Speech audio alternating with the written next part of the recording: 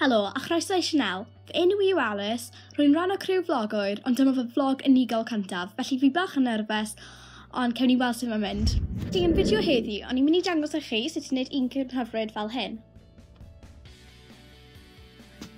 Neu, ceffil y gofod, fel hyn. Gobeithio chi'n mynd wych yma. Bydd angen ffelt. Dyma'r lliw rydw i wedi dewis am y corn. A wedyn mae gen i rein am y corff angen papur a ffensil, edau, nodwydd bach a nodwydd fawr. Un am y papur ac un am y ffabric. Bydd pert arall chi'n ffansio, er enghraifft y blodau hyfryd yma. Cofiwch bod yn ofalus gan ddefnyddio'r sesiwn ar nodwydd. Mae'n gwneud y patrwm. Peidiwch y ffoenio os nad ydych chi'n dda iawn am tynnu lluniau, herwydd rwy'n mynd i dangos chi'r camau o sut i creu y patrwm perffaith. Yn gyntaf, rwy'n mynd i tynnu llun o siap sydd yn debyg i wy. Dyma bydd pen y un corn.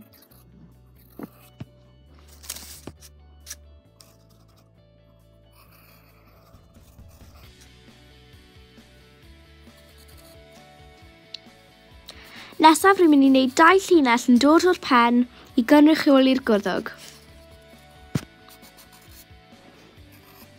Nawr mae angen i fi wneud y cefn.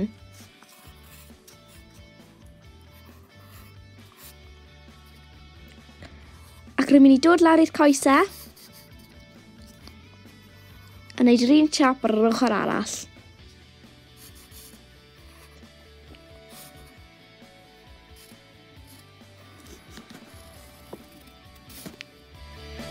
Ac y peth olaf i wneud yw tecluso fe lan nawr am y clistiau. Mae yna jyst yn siarp deilen, ond dim ond hanner ach chi'n mynd i angen. Yn syml, y corn yw triongl. Cam nesaf yw i torri popeth mas. Yw i cael y patrwm o'r corff a roi e ar y ffelt. I wneud hyn, bydd angen pen arnoch chi, a rhaid bod yn ofalus oherwydd maen nhw'n gallu bod yn eitha siarp.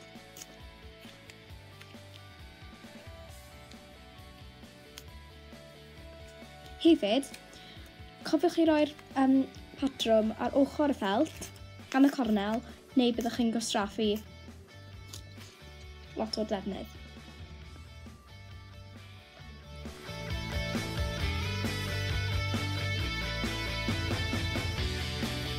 Nawr mae'n rhaid ail wneud y cam yna.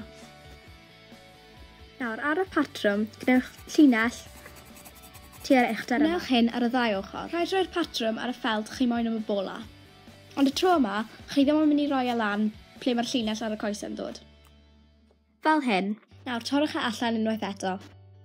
Rhywch y darnau ffelt ar ben ei gilydd fel hyn. Torrwch darn hir o eda.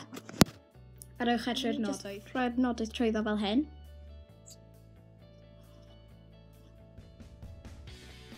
mynd rownd yr ochr, cwbl o weithiau nes i bod yn dyn. Nawr ydych chi'n mynd i wneud hyn sal gwaith a mynd yr holl ffordd rownd yn dilyn siap yr incyrn. Nid ydych chi wedi deall sut i wneud y pwyth, dyma sut i wneud e. Chi'n mynd mewn trwy'r cefen, fel hyn, a mas trwy'r flan. O dan, a mas. Ar ôl i chi pigo fel lan, mae e'n hawdd iawn, ond peidiwch ffoenio os mae'n rhaid chi ymarfer tipyn i ddechrau. Steffan hwnna, a dyma sut mae'n edrych. Felly'r cam nesaf yw rhoi ail dan y bola fel hyn. Gwnewch yn siŵr mae'n neud fel hyn yw e, neu bydd e ddim yn gweithio. Felly, ni'n neud hwnna nawr. Chi'n mynd i gwynio lan fyna, fel gwneswch chi ar draws y corff, a newch union rhywun pwynt. Dyma sut mae wedi troi mas. Rwy'n mynd i dechrau o fan hyn, am gwynio rownd, i fan hyn. Dwi wedi gorffen gyda hwnna, dyma beth mae'n edrych fel. Edrych bach mwy fel fan hyn, rwy'n fan hyn, i tua fan hyn lle byddai'r camffon. A roed i roi pin fel ai atgoff fy hun i peidio mynd heibio'r pwynt yma, a byddwch chi'n gweld pam mewn munud. Fi wedi gorffen hwnna a gadael gap yn y cefen, felly nawr am y darn sy'n mor boddhaol, mae'n actually anghredadwy. Felly, chi'n mynd i roi pensil lan fyna. Wedyn gyda sesiwn, chi'n mynd i roi ar y pen. A wedyn troi e mewn i fewn. Felly, mae'n gallu bod bach yn ffidlu weithiau. Felly mae rhaid trio sawl gwaith.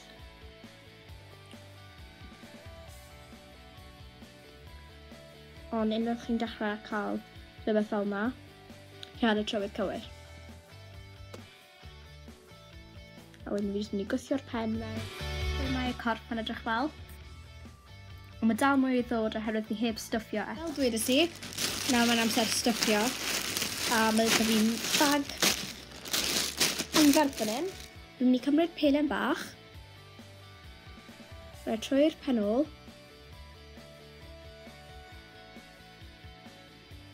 a mewn i'r pen. Dyma hi wedi styffio popeth. Um, roeddwn ni wedi gwynio lan fan hyn, felly mae'n ar gau, a hefyd roedd tyll fan hyn, felly o'n i wedi sorto hwnna mas hefyd. Nawr rwy'n mynd i torri mas dau clust allan o hyn. Nawr rwy'n mynd i gwynio fe arno. A nawr rwy'n mynd i gwynio'r llyged arno. Um, mae dim i'r peli bach yma, ond am y un cyn yma, fi wedi penderfynu gwynio nhw. Dyma hi, fe ti'n neud? O'n i jyst i neud hanner cylch, a wedyn llunellau bach yn dod lawr, fel mae'n edrych fel bod i'n cysgu. Fi nawr yn mynd i wneud y troen, a mae hwnna jyst mynd i bod yn dau pwyth bach, hwb fyna a fyna. Felly nawr am y dan cyffroes. Dwi wedi torri mas y corn yn barod,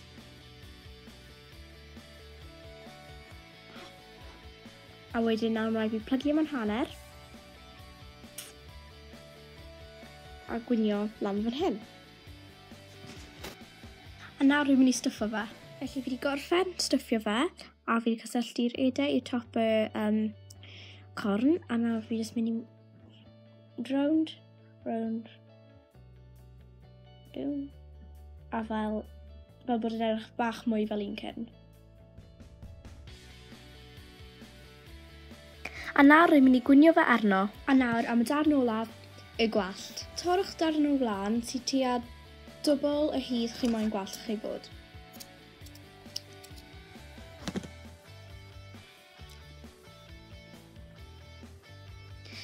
Nawr, i wneud y edrych fel gwallt, rhannwch lan tri dan.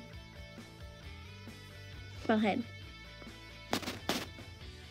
Os chi'n edrych yn manol iawn ar y glan, Chi'n gallu gweld y tri bran yn hawdd, felly Tynnwch nhw allan.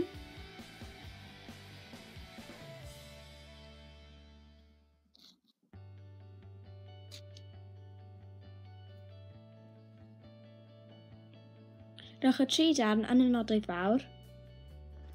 Nawr chi'n mynd i rannu mewn i ddau ran, fel bod hanner clir gyda chi.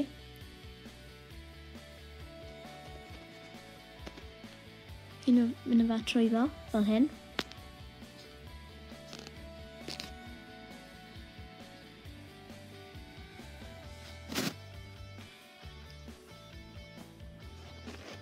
A clwmia.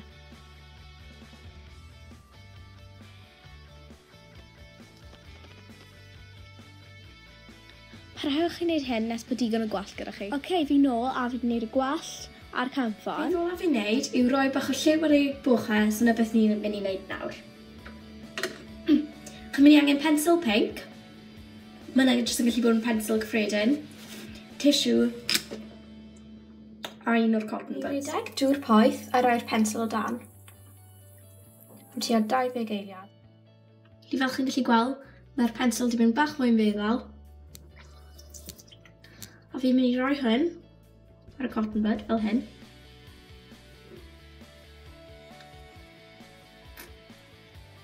Neis a pink. Bach mwy o dŵr arno fe, ond dim gormod. A gadael hwnna fyna. Wedyn mae fel arfer fel tua tri hain arno tissues arferol, felly chi'n mynd i cymryd un off. Felly rwy'n go dan bach. chi'n mynd i roi e lle chi moyn um, bocher incern fel hyn. Wedyn, och mae o dŵr. a chi'n mynd i just dab y ferno.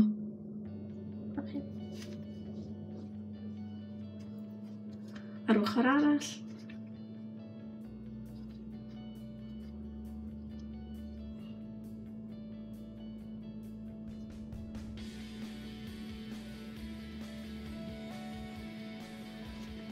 Felly mae'n eitha llachar nawr.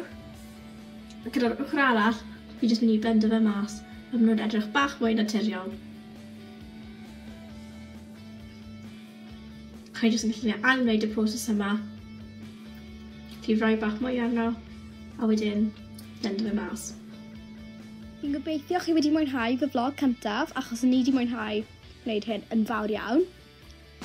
Cofiwch, subscribewch, rwy'ch bodiau fyny a hefyd dilynwch ein cyfrif Instagram Sianel Mia.